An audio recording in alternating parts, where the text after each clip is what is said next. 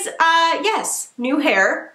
We're wearing a headband. It matches my shirt. This was not planned, but it is indeed a vibe. And that vibe is I'm trying to not wash my hair every day. So I bought a pack of headbands off of Amazon and now you're gonna be seeing these a lot probably until my hair gets used to uh, not everyday shampoos. So today we are going to be doing my Mirena IUD update. I will link my original video which included me vlogging the process of it getting done, my immediate reaction, and then I think it was like three weeks later, all of that kind of like first impression stuff. I'm gonna link it down below. This is about a year and a month later, so I've got all of your questions, all of the things that you guys had in the comments of that video that you wanted updates on, and we're just gonna dive right on into it. And if you are going to get the IUD, I do suggest that you watch my first video so you kind of understand the process of the insertion and the right after pain because that's not something I'm going to cover in this video. This is strictly like updates, all that kind of stuff. So I guess kind of jumping off of that, I do remember the pain and the anxiety of the insertion, but it's so like not a forefront part of my brain right now. Like that is to say if in three years I want to get another like form of birth control, I will be getting another IUD because the pain and the anxiety of the insertion, which lasted probably like 20 minutes altogether, like the anxiety, is definitely worth going through again to get, for me, the relief of being protected sexually and We'll get to the period thing in a second, but it's also worth it in that vein as well. That being said, I would go in more prepared this time. I think I took like a Advil before. It definitely hurt, but if I had taken an Ativan or something and I didn't have any anxiety, it would have been like painful and annoying, but like fine. I would take two or three this time and I would also take an Ativan or something to just make sure that I'm a little bit more chill and I would also eat something light beforehand which are all things that I did not do and I think would probably change the game. Um, I definitely had an anxiety attack where I was very lightheaded and sweaty and warm and felt like I was going to pass out and also felt like I was going to shit my pants and it was just it was not a great time. So going forward, I have tools that can help to prevent against that and I'm going to invoke them. So let's talk about spotting after that was something that you guys wanted to know about and I was one of the very very lucky ones where I think I spotted for like a couple days like just very to the point where I could wear a panty liner like the same one all day and it would be like oh a couple drops of blood. That being said it can last for months and it depends on your flow. It depends on you as a person. Like it just, I've had friends who were spotting and basically had their period for six months. And then you guys wanted to know about the strings, and there's a couple parts to this, like checking for your strings, making sure that the IUD is still there, the fear of it coming out using a menstrual cup because of the suction, because you do hear that sometimes like the menstrual cup can pull out the IUD, and then also sexually, does somebody feel your strings? So I check for my strings in the shower with clean hands, just go up there like once a month. Sometimes I can feel them, sometimes I can't, and then I'll just like do it every couple days until I feel it.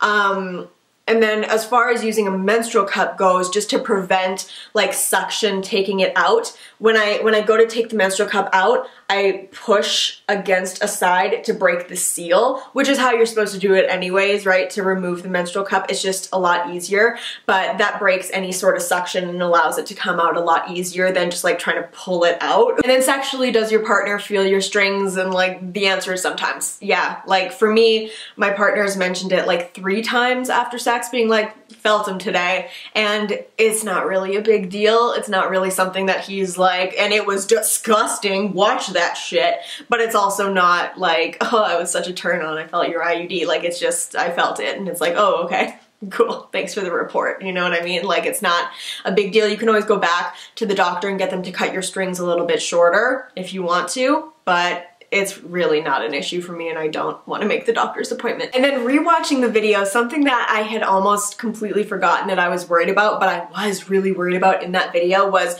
the potential of breaking out, going from the pill, getting off of those hormones, getting the IUD, getting on whatever hormones are there, and also your body kind of kicking back into working order. Sometimes you can break out, go through like a second puberty, right? So I was really concerned about that because for basically my whole life I'd had pretty good skin with the exceptional like hormonal breakout around my period. And that really like would fuck with my self-confidence to be honest. Like whenever I had like big kind of cystic pimples that came up around my period that was a big blow to my ego and that was something that I personally was very concerned about. But I am excited to say that oh my god I thought there was a spider on the roof. That would not be exciting to say Oh my god, you guys almost just saw me have a fucking mental breakdown. I didn't really notice any big changes in my skin. So that being said, different for everybody. Like I am truly just reporting on my experience and my updates and just because I, you know, wasn't spotting for a really long time doesn't mean that you won't go through that. Just because my skin didn't really change doesn't mean that yours won't. I don't want you to watch this video and feel like, oh, well nothing happened to her in these situations, so I'm fine. And then get your IUD and be like, what the hell? Also, people were asking about mental health changes. And I gotta say again, I have been fairly steady in terms of my mental health. I'm somebody who has generalized anxiety disorder, confirmed, diagnosed, and I am on medication for it. I take 100 milligrams of aposertraline daily, and I'm on Ativan for situational anxiety, and I my, my anxiety has been pretty steady, like pretty under control, and I think that a lot of that I, I, really don't attribute any of it to the IUD. I attribute it a lot to being in therapy on and off throughout the years, building up tools to deal with it. The medication really helps me kind of have that control of my anxiety and I haven't noticed any changes at all of my mental health that I would attribute to the IUD. That being said, it is important, I think, for everybody to know that some people do report being more susceptible to depression or being more susceptible to different kinds of things that could affect your emotions and affect your mental health. So just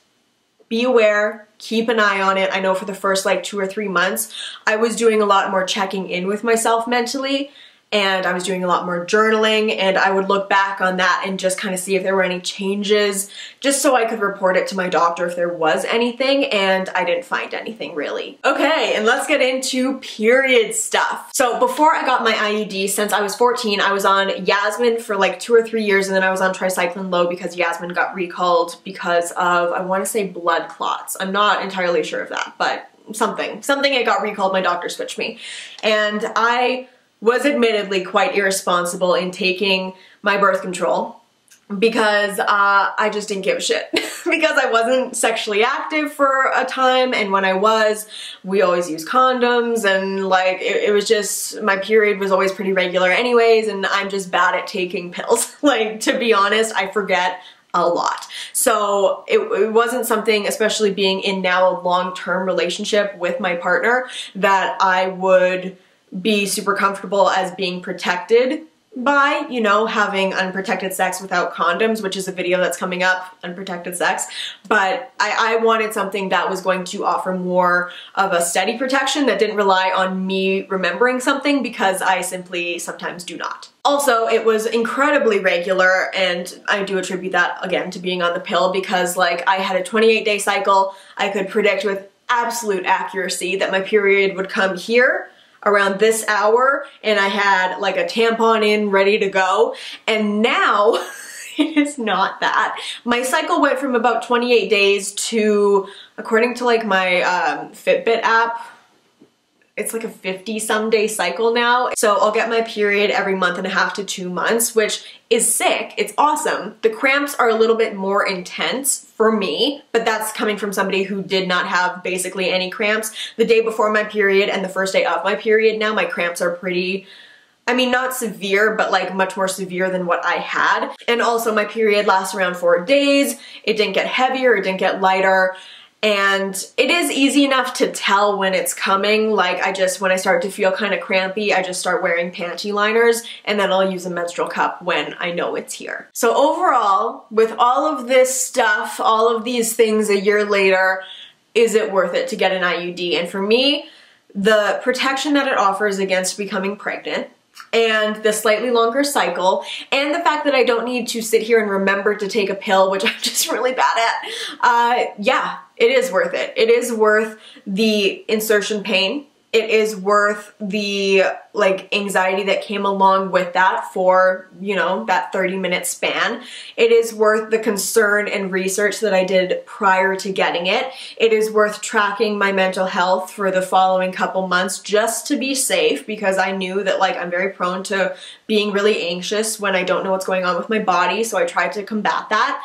And it is something that I will continue to use for the foreseeable future and I will get this one taken out when it's no longer usable and I will get a new one put in. And I also think it is nice to not have to go to the pharmacy and pick up pills. And also I have found that it saved me money. I was paying probably gosh, like a couple hundred dollars a year for birth control pills, and that was like partially covered by insurance. And then I paid probably like a hundred dollars out of pocket for this, and it's gonna cover me for five to seven years. But that is it. If you guys want a follow-up, if you have a specific question on something that I didn't touch on, please let me know. I will do a follow-up, uh, not in a year from now. I'll do one a lot quicker if you have questions.